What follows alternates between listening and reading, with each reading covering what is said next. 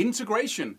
I want to talk a little bit about uh, a very, very important uh, insight I got after I've practiced for years. I've practiced, you know, sequences and techniques and licks and scales and all kinds of stuff. But I couldn't really combine it in any meaningful way. So all I had were, were little gimmicks, like uh, like the ability to juggle seven bottles in the air. Right? Give me a second. I'm going to play an impressive alternate picking sequence for you. But I couldn't use that in a musical context.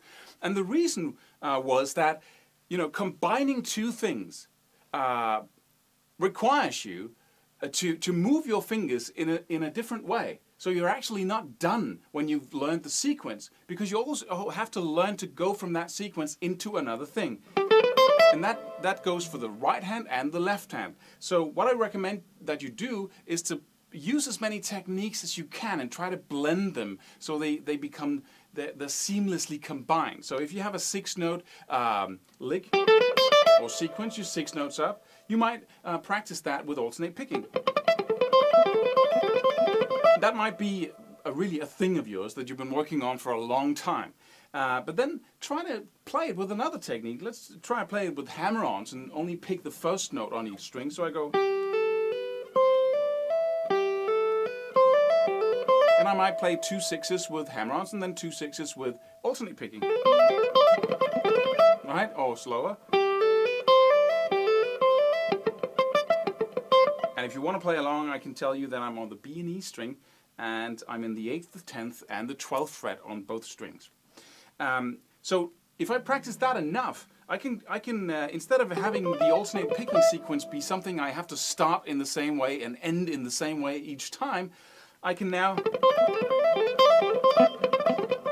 I can go in and out of the two techniques uh, while I'm playing, which is amazing because uh, it just gives you an, an, enormous amount of freedom. And once you start doing that with everything, um, then suddenly you begin to sense what it's like to have that freedom that uh, you see other people have, you know, the pros out there.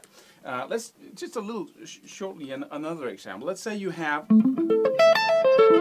uh, an A minor sweep picking arpeggio where you have two notes on the first string, two notes on the last, and then just one note on each string in between. If I, if I, you know, I can practice that. But once I'm done practicing that, that's all I know. I can't use it anywhere. So what I have to do is I have to, I have to make sure that I can do that I can do something up here, or I can go into some legato, right? That, that I can shift to another thing right there. Or to alternate picking. Right? So, and, and the, re, the, the, the way I do that is I just sit down and comfortably, and then I just play stuff, right? Let's just uh, have this uh, A minor arpeggio be my focal point. And then I just... I could spend a couple of minutes just going up that arpeggio and then ending it in, in different ways. And this looks a little easy right now because I've been doing this a lot. But in the beginning, you simply... Uh, what? Right? And then you come up with something. You come, okay, what if I did... Did that, or... That sounds pretty good. Right? And then you play it slowly, you get up to speed. Um, and it, it, of course, you're not practicing something very, something new here. You're, you're just using stuff you know already. But you're combining it in new ways. And once it's comfortable, once you have...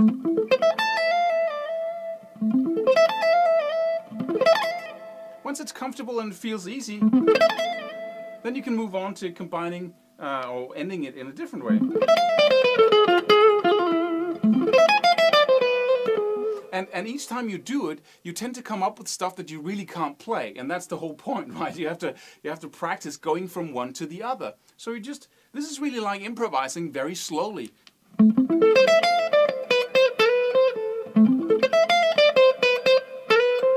It's not going to sound like this if you've never done this before. It's not going to sound like that. You have to, you know, get it up to speed. So you might come up with a little idea, then you spend two minutes just getting it up to speed. And if you can't play it after two minutes, it's probably because you're practicing something you haven't played before. And that's not the point of integration. The point of integration is just play what you know already, but combining it.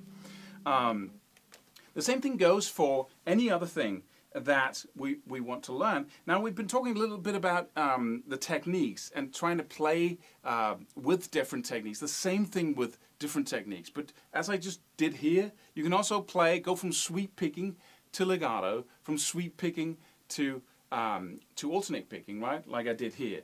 But at the same time, you can practice beginning and ending your sequences or beginning and ending your licks.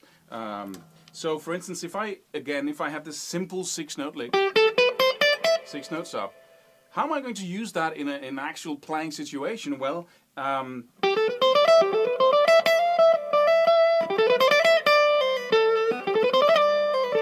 so that you have to practice that. You have to go, you have to actually practice. And each time you get a new idea, just, just, you know, just playing six notes up and then using your middle finger to play a middle note is a little challenge if you haven't done it before. Or you might want to slide up for a cool ending there, so you go... For instance, right?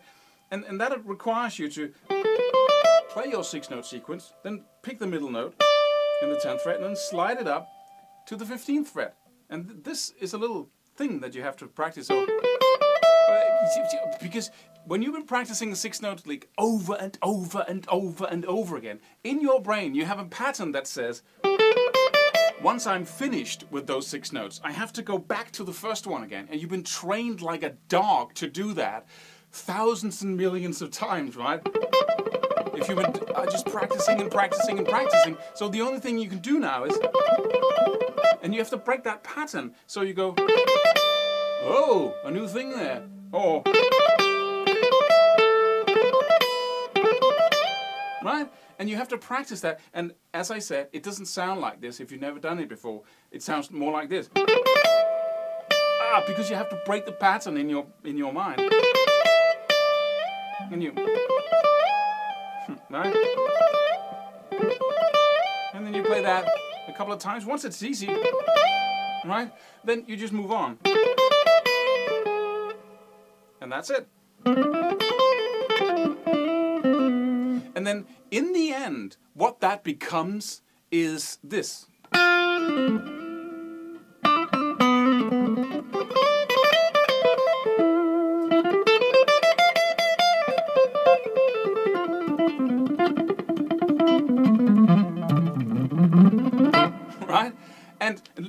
It, it, it looks like magic. Oh, then he does this, then he does that, and it's not magic. It's what you're listening or seeing here is just a, a, a faster version of what I've been talking about. Just combining stuff, you know.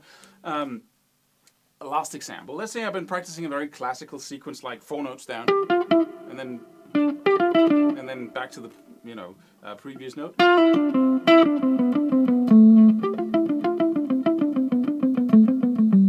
In order to use in order to or the other way in order to use the, all the work I've done to learn that sequence and play it through scale shapes in order to use that work I have to go uh, combine it with uh, a sequence I learned just previously perhaps. Let's say I, I learned this sequence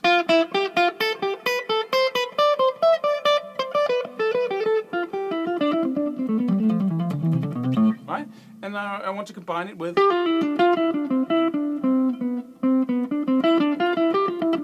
Ah, that's a nice little exercise there. So I can that that's in time.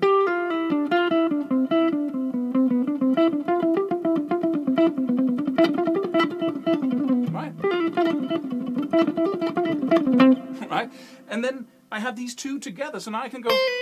Oh, of course, I have to practice combining them in more than one way. I could also go up.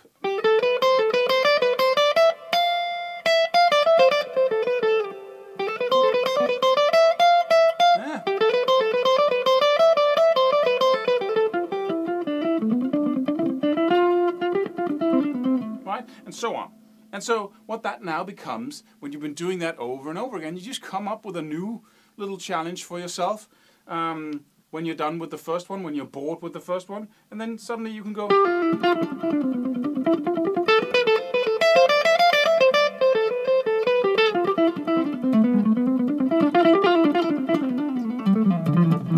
Right? And that's what comes out of that. That, and, and you know it's not a it's not a practice session where you you're all focused on what am I doing here and I have to have a system for this and I have to you know go step by step. No, you just come up with stuff because that's really uh, what it's about, right? Uh, soloing and improvising if that's what you're doing, and then um, that gradually becomes that fluent playing style. And this process here is what you spend um, and you can talk to people while you do it even, uh, once you get into the habit of doing it. But this is the first step to putting on a jam track and then taking that new fluency there that you have in your hands and, you know, turning this.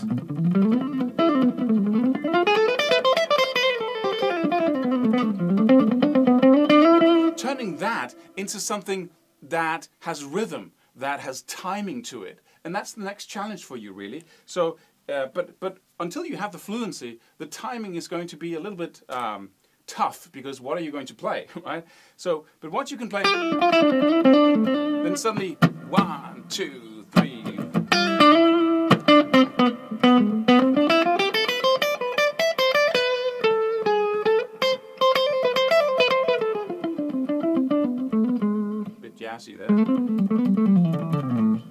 But then um, you suddenly uh, have the, the, the, the, foundation or the basis for developing fluency as the music plays, which is a, which is a slightly different discipline.